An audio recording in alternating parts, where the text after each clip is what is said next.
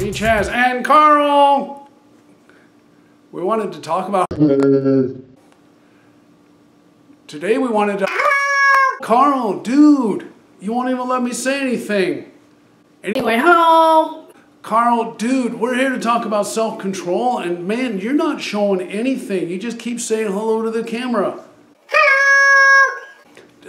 Carl, that's what I mean. You don't even understand self control at all. Hello! You don't know anything about self control. Yeah, I do. Yeah, right. What do you know? It's Adam and Derek. Adam and Derek were driving in Casper, Wyoming, and they saw a purse in the road. And so then they decided, Dude, we better check it out. They found an Arizona driver's license inside. And so they went looking for the person. They didn't even try to look in the purse if there was money. And guess what? I don't know what. There was $43,000 in the purse. That's self control. They could have just kept it.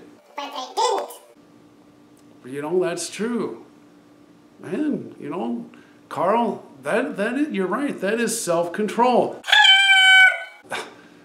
Hello! But Carl, dude, when you stick your hand in my face, that's not self control. You should show me some respect and have control over yourself and what you want to do. Okay. Well, that's just about it for the video. Thanks for telling us the story about Adam and Derek and how they used self control and didn't spend somebody else's money.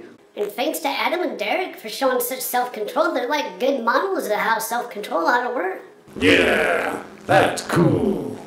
Well, this is Chaz. And Carl! Bye-bye. Thanks for coming to see us.